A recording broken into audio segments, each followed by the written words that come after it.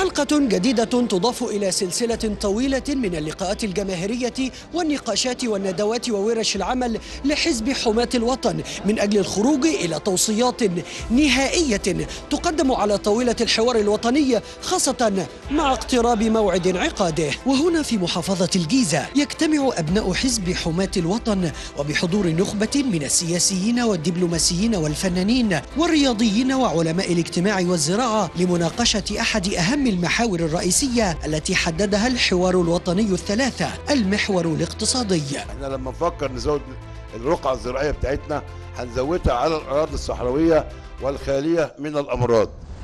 لذلك كان حرصنا على أن نهتم بقطاع الزراعة ونقدم رؤية جادة لاستصلاح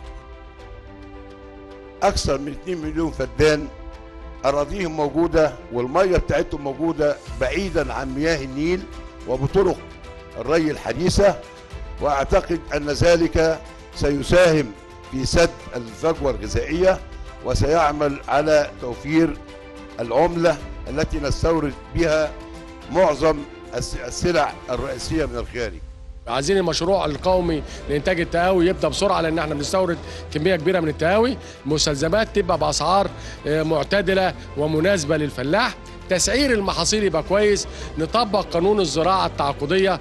نعمل قانون آه، آه، صندوق التكافل الزراعي لتعويض الفلاحين في حالة الضرر. نزود كمان الدعم المالي بالنسبة للمزارعين بصفة عامة. أتمنى بالفعل أن نسمع كل الآراء والآراء. المختلفة حول سبل الخروج من هذه الأزمة سواء كانت اقتصادية أو الاجتماعية أو السياسية. يمكن النهاردة كلموا إخواننا وزادوا في الكلام عن الأزمة آه، الزراعية وإزاي نقدر ننهض بالزراعة وإزاي نقدر نحقق الاكتفاء الذاتي. وكل ده مهم جدا. أتمنى أن التوصيات دي تكون موجودة على مائدة الحوار بين كل القوى السياسية في الفترة القادمة. لأول مرة بحضر فعالية بالشكل ده وأنا كراجل فلاح يعني من الغربية فخور إن إحنا بنناقش النهارده محور الزراعة. لأن محور الزراعة ده محور مهم مشاكل اللي بيعاني منها الفلاح مشاكل مهمة. إحنا محتاجين نتوسع زي ما توسعنا في مرحلة وكنا بنملك الخريجين الأراضي خمس أفدنة 10 أفدنة في عدد من المشروعات. راح بدأوا بخمس فدادين النهارده بقى عندهم 50 فدان بقى, بقى كانوا بيت بقوا عدة بيوت جوزوا أبنائهم. الزراعة المصرية طوق النجاة للاقتصاد المصري.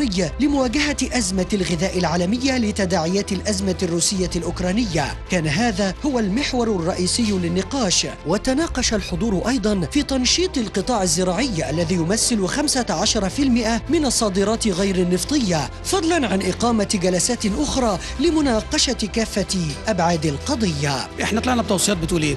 بتقول إحنا لو عدلنا أو بدأنا نفعل القوانين التي تدعو لتملك الأراضي للمستثمرين والأفراد. خلاص بطرق ميسرة وسريعة. ونبعد عن البيروقراطية.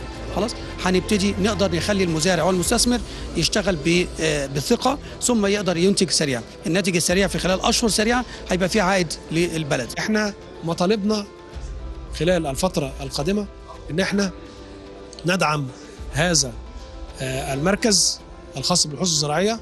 يدعم آه، سواء ماديا أو يدعم آه، تقنيا لأن هو ده المستقبل الخاص بالزراعة المصرية. إن شاء الله بإذن الله التوصيات اللي تخرج آه، هيتم برضو مراجعتها من متخصصين آه، لدى الحزب وسنقوم برفعها لإدارة الحوار الوطني ومن ثم إلى فخامة السيد الرئيس عبد الفتاح السيسي. توصيات عدة خرجت من مؤتمر حزب حماة الوطن على رأسها ضرورة تفعيل الاستثمار الزراعي في إفريقيا وإنشاء مصانع الأسمدة والاعتماد على وسائل الري الحديثة هذا بخلاف ضرورة تواصل الأمانات الحزبية في المحافظات والمراكز بعد المؤتمر مع الناس لجمع كافة التوصيات لبناء مستقبل مصر بيد شعبها. عمرو أبو جبل مصر جديدة إي دي سي.